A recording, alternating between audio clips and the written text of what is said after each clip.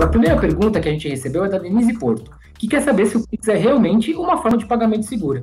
Sim, Felipe. É, respondendo para a Denise, o Pix realmente ele é uma, um meio de pagamento seguro. É, os bancos, as instituições financeiras de pagamento, todos aqueles participantes que nós chamamos que estão operando no arranjo do Pix, implementaram uma série de controles dentre os quais modelos de segurança que já existiam e outros específicos para o Pix. Então, ele é, sim, um meio seguro, tanto para transferência monetária, substituindo, por exemplo, o TED, o DOC, como também como forma de pagamento. É, a gente percebe que é, o nível de segurança ele é adequado até pelo volume hoje de PIX processado. Né? Então, nós já ultrapassamos agora em março de 2021 então, em quatro meses de operação do Pix, o volume, a quantidade de transações em Pix já são superiores à quantidade de transações de TED e DOC.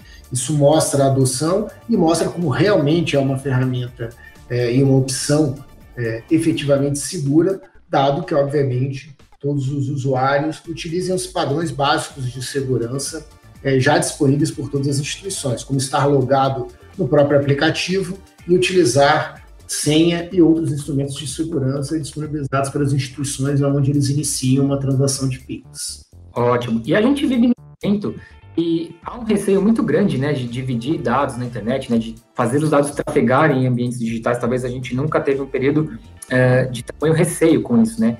E é, do Pix, a gente tem o CPF, por exemplo, que pode ser uma chave. Então, o Ricardo Micida perguntou para a gente se tem uma chave mais segura para se usar no Pix, além da chave aleatória? É muito boa essa pergunta, porque essa é uma dúvida frequente. Acho que o primeiro aspecto para frisar é em relação a essa questão das chaves, que ainda gera muitas dúvidas para os usuários do Pix. Então, existem chaves que, na verdade, são alias, são, é, para que você consiga associar a sua conta de pagamento, a sua conta poupança ou a sua conta corrente, para que você use essa chave como uma referência, quando você pode passar isso para uma outra pessoa que vai fazer uma transferência via Pix e utiliza essa chave, então, para não precisar digitar todos os dados da conta. Porém, não é obrigatório você ter a chave cadastrada. Então, você pode, de fato, é, disponibilizar, como eu acabei de falar, o banco, a agência, conta, o seu CPF, tal como é, já é usual ser feito para transações, por exemplo, de transferência via TED ou DOC, então pode ser feita uma transferência via Pix sem necessidade da chave, passando esses dados. A questão da chave é justamente gerar uma facilidade para uh, os usuários para que justamente consigam uh, executar transações de forma mais rápida e mais simples.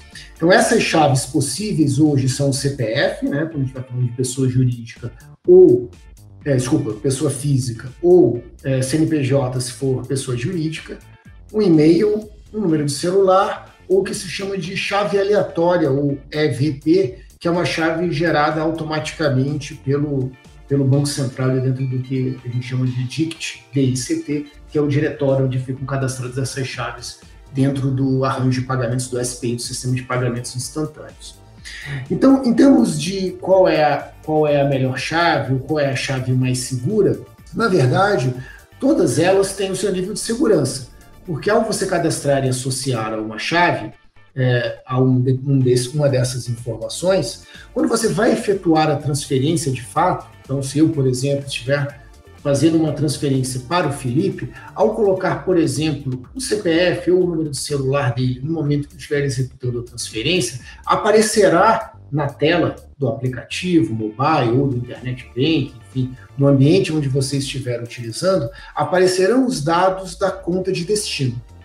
Então, é, em relação a qual é a informação, qual é a chave mais segura, é, na minha visão, todas as chaves são seguras é, nesse conceito de transferência. O mais importante nesse caso é, e fundamental é que quem estiver executando a transação, ao executar a transação, olhe a, a chave, olhe os dados pós é, colocação da chave para verificar se realmente os dados finais são para aquela, daquela pessoa para a qual você está fazendo uma transferência ou efetuando um pagamento. Gostou do conteúdo?